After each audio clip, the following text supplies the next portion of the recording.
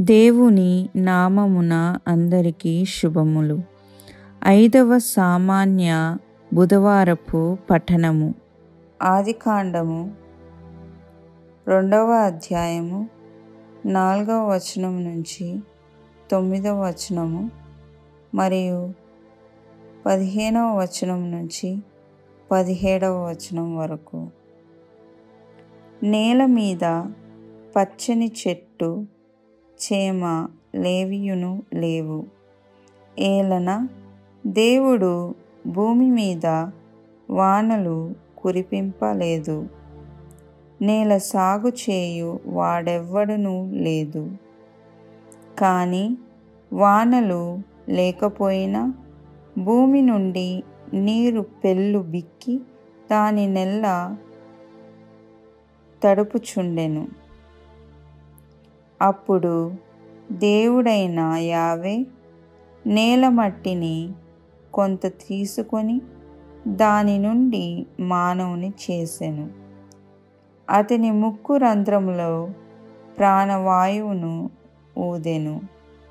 నరుడు జీవము గలవాడయ్యను.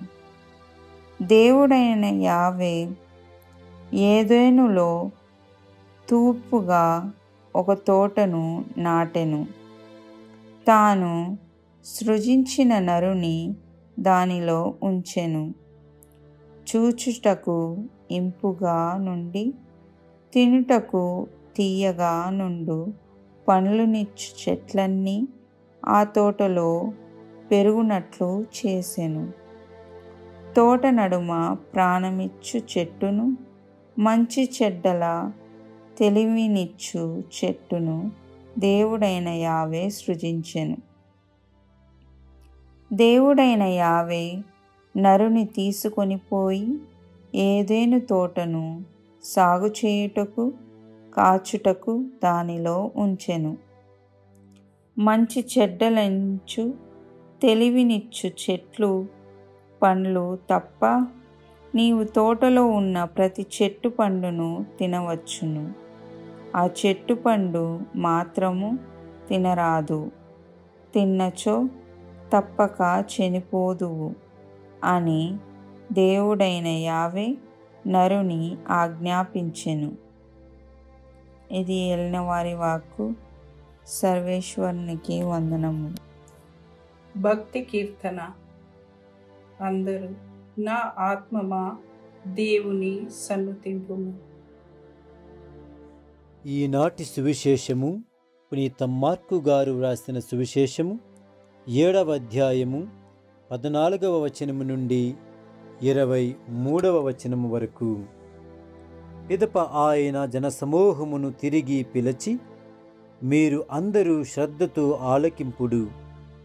మనిషిని మలినపరచునది నోటి నుండి వెలువడినదే గాని నోటిలోనికి పోవునది కాదు. వినుటకు వీలున్నవారు విందురుగాక అనెను. ఆయన ఆ జనసమూహమును వీడి గృహమున ప్రవేశించినప్పుడు ఆయన శిష్యులు ఈ ఉపమాన భావమును వివరింప ప్రార్థించిరి. అంతటా యేసు శిష్యులను చూచి మీరును ఇంతటి మందమతులా? మానవుడు భుజించినది ఏదియు అతనిని మలినపరచదు. ఏలైనా అది హృదయములో ప్రవేశింపక ఉదరములో ప్రవేశించి ఆ పిమ్మట విసర్జింపబడుచున్నది. అన్ని పదార్థములు భుజింపదగినవే అని ఆయన పలికెను. మానవుని మలినపరచునది వాని అంతరంగము నుండి వెలువడినదియే. ఏలైనా హృదయము నుండి దురాలోచన వేష్య సంగమము దొంగతనములు నరహత్యలు వ్యభిచారము దురాశ దౌష్ట్యము మోసములు కామము మాశ్చర్యములు దూషణములు అహంభావము అవివేకము వెలవడును. ఇట్టి చెడుగులు అన్నియు మానవుని అంతరంగము నుండియే వెలువడి అతనిని మలినపరుచును అని పలికెను. ఇది క్రీస్తు సువిశేషము. క్రీస్తువ మీకు స్థుతి కలుగును